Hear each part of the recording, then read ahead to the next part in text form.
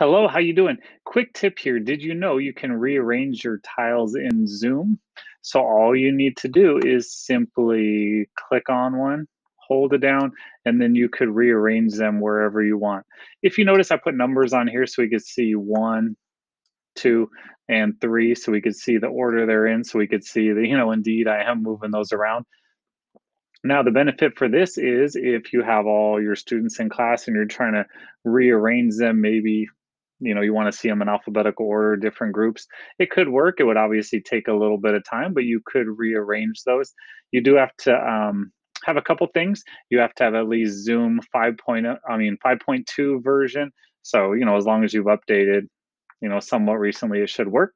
When you go into your video settings when you scroll down you have to be able to have this clicked 49 participants so you have to have that clicked. If you don't have that option then that means you know your computer uh, isn't strong enough to run that so it's not going to work. And if you're on a chromebook it's not going to work. Um, there is another cool feature as well so i could rearrange these however i like and then when i go to view up here because i'm the host do you see this option follow host video order. So I could push out that order and force everyone else to have the same order of tiles as I have.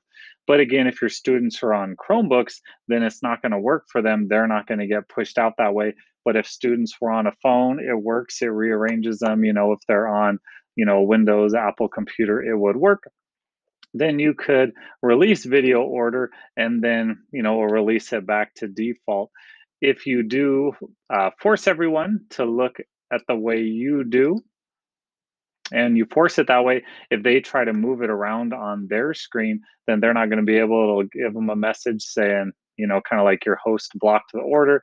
You could release that. So if you didn't know, then you can rearrange yours. You could also tell your students as well, because maybe they're rearranging, you know, people in their group or you know they like to have the people who talk up on top who knows? But hopefully that helps you out a little bit.